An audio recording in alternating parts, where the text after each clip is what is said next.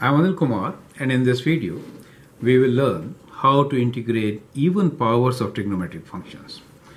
So we have a function, we need to find integral of cos to the power of 4x dx. Now whenever we have even powers, we have to use the double angle formula. So as you know, cos of 2x is equals to 2 cos square x minus 1.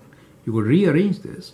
You could write this as 2 cos square x equals to 1 plus cos 2x or cos square x equals to 1 plus cos 2x divided by 2. So that's the formula which will help you simplify and then integrate the given function trigonometric functions with even power okay so we could write this as integral of cos of square x whole square correct? Cos of square x whole square dx.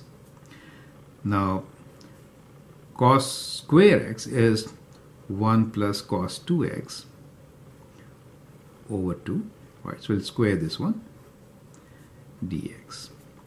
So that gives you integral of so we can expand the numerator denominator 2 becomes 4 let me bring it outside. So 1 over 4 and we have 1 plus, uh, 2 cos 2x plus cos square 2x dx right? So that becomes the expanded form. Now in doing so we again got this cos square 2x so we can now again write this in that form. So we have a double angle. So if the angle is double, the only thing is cos squared 2x, we need to replace x with twice x, which is 1 plus cos 4x over 2, right? So we'll replace this by that. So we get 1 over 4 integral of 1 plus 2 cos 2x. Now we are replacing this with 1 plus cos 4x over 2 dx. So let's avoid fraction. We'll multiply everything by 2. So we get 1 over 8. So we'll just factor this out.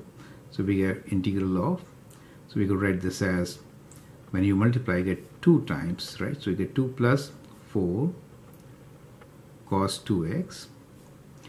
And then this is plus 1 plus cos 4x. So that avoid fractions. This is a very important step. So we have 1 over 8. And now you can integrate this, right? Because we have cos 2x, cos 4x. 2 plus 1 is 3. So, so I'm combining this 2 plus 1, which is 3. And the integral of 3 will be, it's right in the brackets, 3x, right? So integral of 3 will be 3x. Now plus 4 cos 2x integral will be 4 times sine 2x over 2 and for cos 4x it will be sine 4x over 4 right? So that becomes the integral of this plus c okay? Now uh, so that is it. So you could take again factor out 4 and you could write this as 1 over 32 right? So this becomes 4 times 3 as 12x and here when you multiply by uh, because 2 is already there it becomes plus 8 sine 2x and this will be plus sine 4x plus c right? So that is the result which you are going to get for this particular integral right? I hope you understand and appreciate how we converted the power to a double angle or multiple angle formula. That really helps. And that is the strategy which you are going to use for any even power trigonometric function. I'm Anil Kumar. You can always share and subscribe my videos. And also if you like, put a thumbs up. Thank you and all the best.